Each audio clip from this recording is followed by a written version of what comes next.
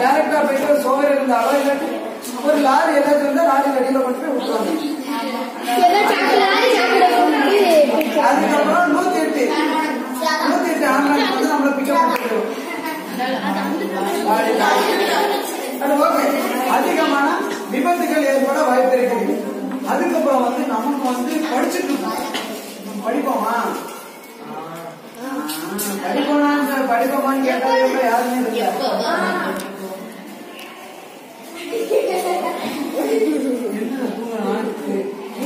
Class அஞ்சு நாள் எத்தனை கேட்டது அஞ்சு நாள்? எட்டா அது ஓகே அதுக்கப்புறம் நம்ம படிக்கும் போது நம்ம திசையை திருப்புகிறது திசை திருப்புறது ஒரு டைரக்ஷன் காட்டி இப்படி டைரக்ஷன் ஆகும் நம்ம கவனத்தை செதுக்குது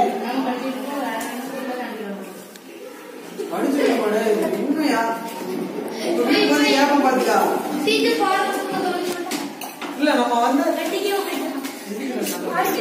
அடிச்சுட்டே இருக்கோம் எதுக்குடா நாலு வருஷம் எதுவுமே சண்டை போடாம டீச்சர் பாக்குறாங்க